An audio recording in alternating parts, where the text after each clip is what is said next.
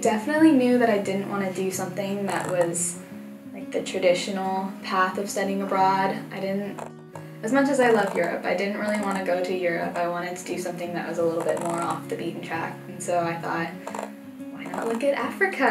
and the one in Botswana was the one that like most spoke to what I was interested in. It gave me the opportunity to look at public health, which is something that I'm passionate about but haven't had a big opportunity to explore at UCSB. And then it also tied in environmental health, which is something that I study here, but it gave me the opportunity to do it hands-on.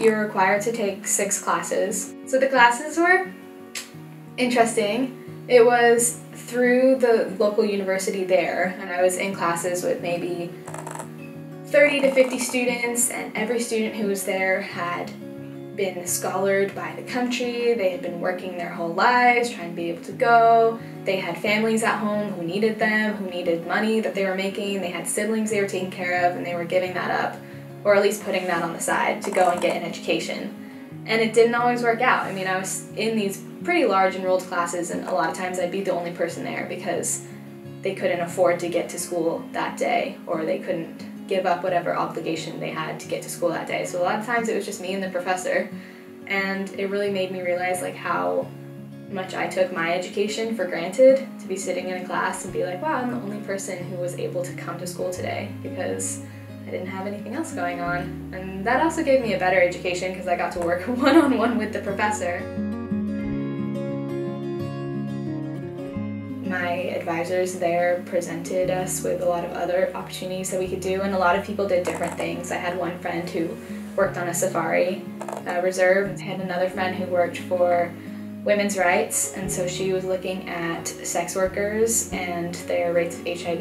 I did two internships. One was through public health, and then the other one was through an environmental organization. So the public health one was coupled with my program, if you were doing the Botswana program, you can either decide to do a public health internship or you can pick an arts and humanities type internship. So basically every week I would go to village clinics and basically just learn how to do basic care. It was really, really eye-opening experience to go into clinics and see hundreds of people needing assistance. My other internship was through an environmental agency called Somarelang Tikologo. When I showed up, they were just really grateful to have a third person who was willing to help out, so I had a lot of say in what was going on. They really valued my opinions and my input, so it definitely gave me that kind of leadership experience in the position that I wasn't necessarily expecting, but it worked out really well, I think, in the end. But it was an experience that I could never get here, and I'm really glad that I did because it's for sure shaped any further experience that I will have here in Botswana, the school has dorms that are designed primarily for their international students from other African countries. So like the students from Zimbabwe and Angola and blah blah blah. And so I was living there with other international students. And that was interesting as well. I lived in a dorm room with one other girl who was from Botswana and we got along really well. She was really nice. I liked her a lot. Well, the dorm life was challenging. It was just basically a room with like a little cot. And I slept on the cot. And then we would have like um, bucket baths, so there wasn't like a bathroom type situation like we have here. I'd have to like take a bucket of water and like pour it onto myself. There wasn't any laundry facilities or anything, so I had to hand wash all of my clothes every week, which was interesting, definitely got a lot of muscle strength, but like I said, it was an incredible experience and I'm really glad that I had it and I wouldn't have changed it. The program that I was in had a lot of things for us to do outside, so I was always volunteering or doing an internship or working in clinics. I mean, the whole Botswana program was half school based and then half internship based, so I was working in village clinics and going around and working with doctors and observing patients and learning how to do initial treatment care and public health as a broad spectrum and how it impacts communities there.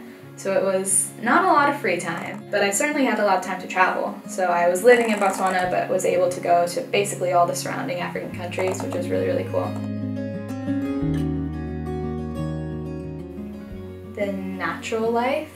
It's not something that you can experience here. You don't walk around and see elephants crossing the street here. You don't have to stay inside your car at night because there's a lion walking around, although recently there has been here. But um, being able to travel around that area too was insane. It was basically like traveling back in time. Like it was going to some of the most beautiful, pristine, natural places in the world and having no one else there. No fences, no park rangers, no anything, no trash, no pollution. It was just totally untouched.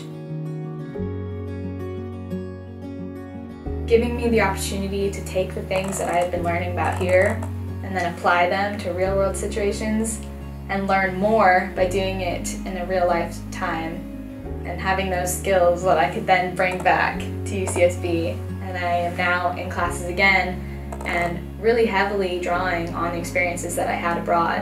And it's shaping the way that I'm learning here now.